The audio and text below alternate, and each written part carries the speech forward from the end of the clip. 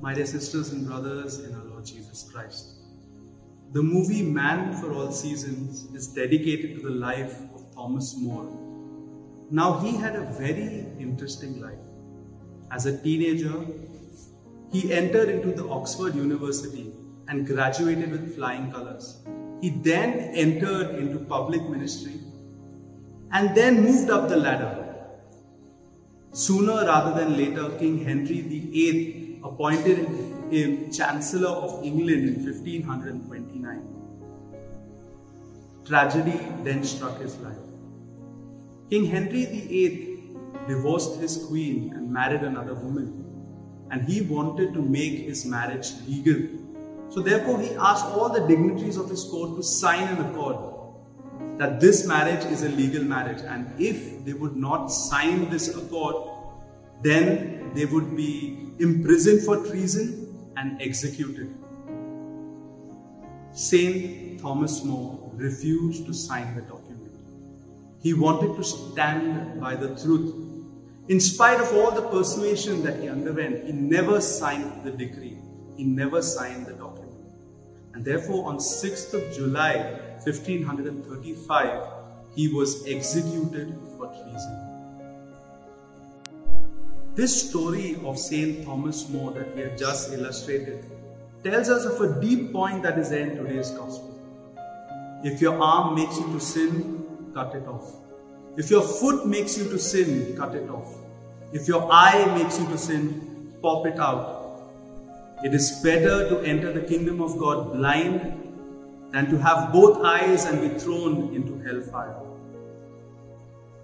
Is Jesus literally telling us to remove out our eyes, to cut off our arm, to cut off our foot?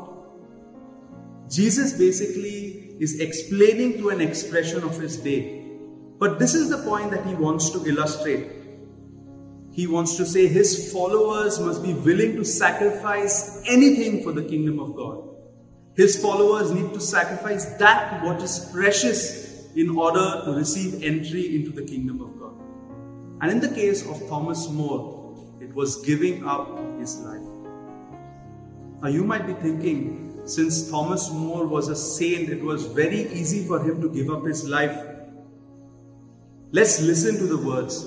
These words of Saint Thomas More appear in his letter that he wrote to his daughter Meg, and it tells us of the difficult struggle that was going on within his soul as he was lying there in prison. He writes to his daughter, Dear Meg, I will not mistrust God.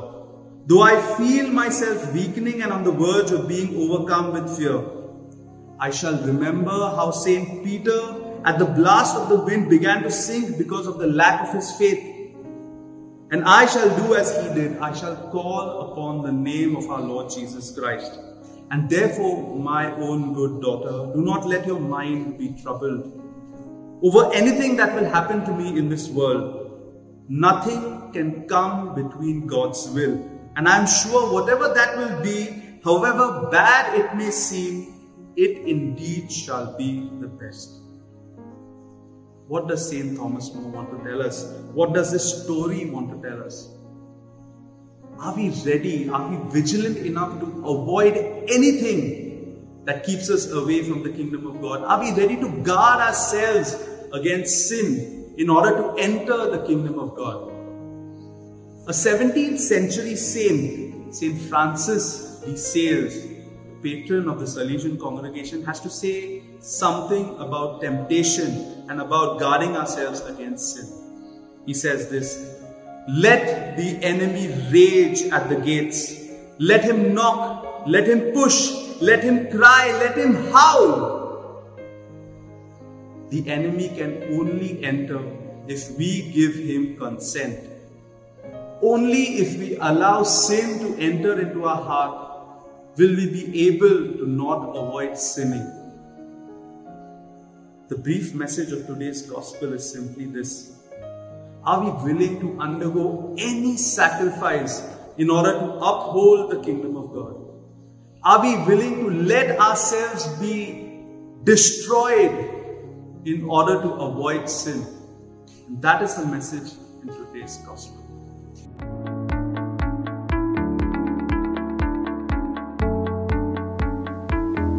My sheep hear my voice, and I know them, and they follow me.